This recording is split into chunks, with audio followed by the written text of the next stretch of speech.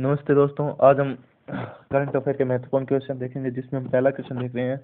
भारत की इक्कीसवीं महिला ग्रैंड ग्रैंड मास्टर कौन बनी है? विजय लक्ष्मी दिव्या देशमुख या अंजना कश्यप या सुनीता बंसल? तो इसमें आपका आंसर सही होगा option number B Divya Deshmukh, जो कि इक्कीसवीं महिला ग्रैंड मास्टर बनी है।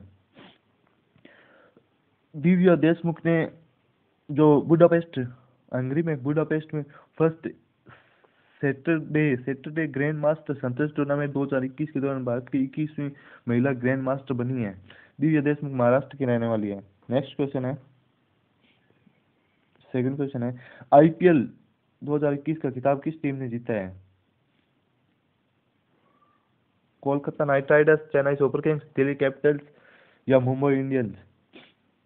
तो इसमें आपका आंसर सही होगा। Option number B Chennai Super Kings. जो चौथी बार आईपीएल खिताब जीता है चेन्नई सुपर किंग्स ने। जो फाइनल मुकाबला कोलकाता नाइट राइडर्स के साथ हुआ था, जिसमें सत्ताईस रन से चेन्नई सुपर किंग्स ने फाइनल मुकाबला जीत लिया। इससे पहले चेन्नई सुपर किंग 2010 में 2011 में 2018 में और इस बार 2021 में चौथी बार चैंपियन बनी है। उप विजेता Kolkata Knight Riders Kolkata Knight Riders उप विजेता थी। ये चौदवा संस्करण था जो भारत और यूएई दोनों में आयोजन हुआ था इसका। इसमें ऑरेंज कैप की बात की जाए तो वो ऋतुराज गायकवाड़ ऑरेंज कैप और पर्पल कैप की बात की जाए तो हर्षल पटेल जो विजेता रहे नेक्स्ट क्वेश्चन है। विश्व खाद्य दिवस कब मनाया मनाया गया है? पंद्रह अक्टूबर। अठारह अक्टूबर सोलह अक्टूबर या बीस सितंबर। तो इसमें आपका आंसर सही होगा ऑप्शन नंबर सी सोलह अक्टूबर नेक्स्ट क्वेश्चन है।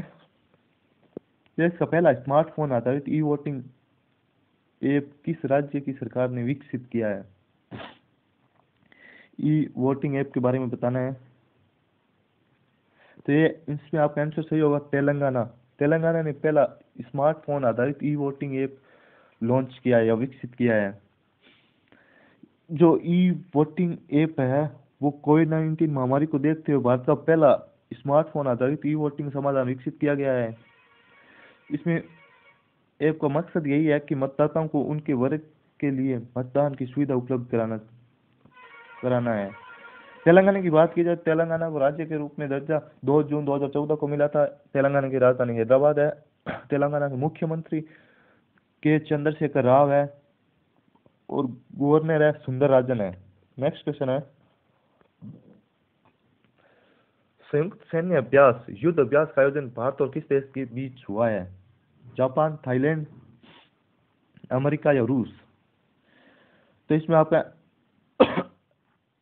आंसर सही होगा अमेरिका अमेरिका के साथ युद्ध अभ्यास का आयोजन किया गया है जो कि अमेरिका के अलास्का नामक स्थान है वहाँ पे अमेरिका में वहाँ पे किया गया है जो कि सत्रवा संस्करण है इसका नेक्स्ट क्वेश्चन है भारत कौन सी बार संयुक्त राष्ट्र मानवाधिकार परिषद का सदस्य बना है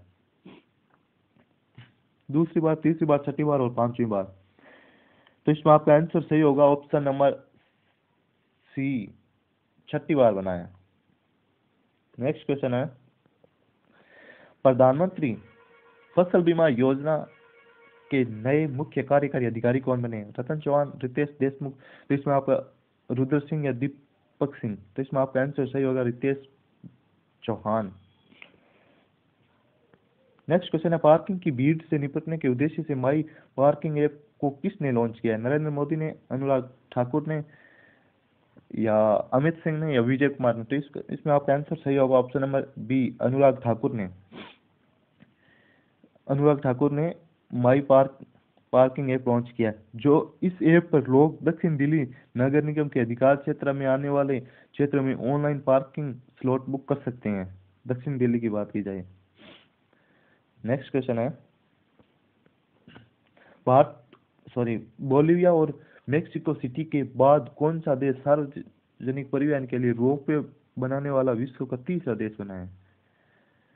तो इसमें आपका आंसर ऑप्शन है भूटान, नेपाल, भारत और जापान। तो इसमें आपका आंसर सही होगा, भारत। नेक्स्ट क्वेश्चन है।